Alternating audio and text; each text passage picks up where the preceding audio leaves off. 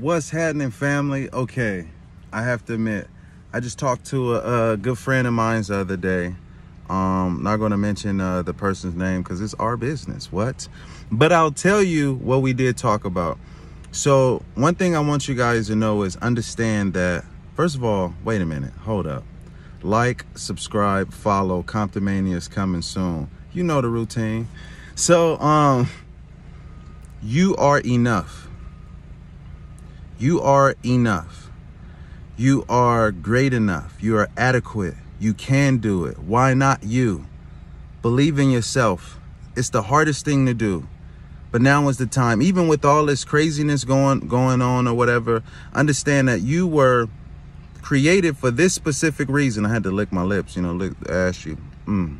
Uh-huh. You have you have to understand that you were created for this specific time.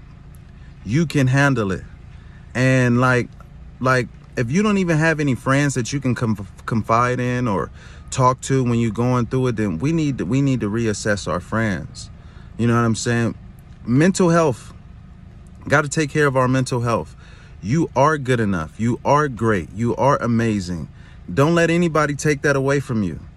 Let go of the past. Listen we all got we all didn't then fucked up somewhere but you still here it's it's never over until it's over. Give you an example.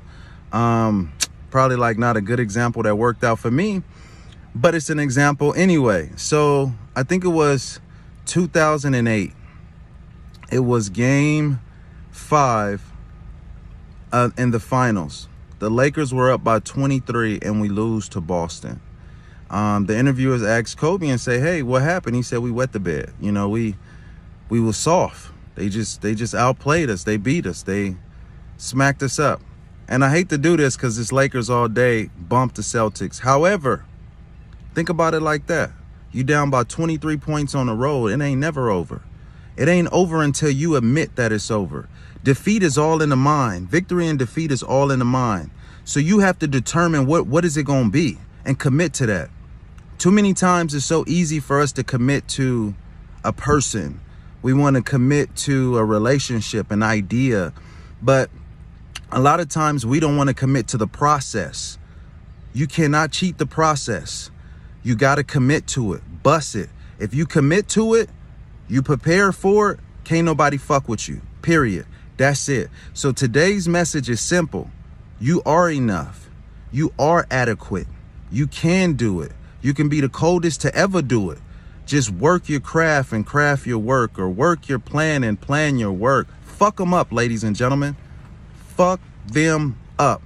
Apply pressure. Do not stop. Step on a neck.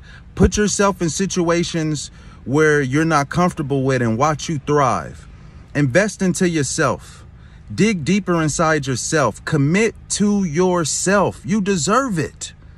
Don't commit to nobody else right now. Commit to yourself. Each individual have their own mission and goal that they are put here to, to do and to accomplish. Set your shit. All right. I think I done talked enough. I think I done cussed enough. I think I done dropped enough F-bombs. So, love you guys. I'm out of here. Shovation. It's show time.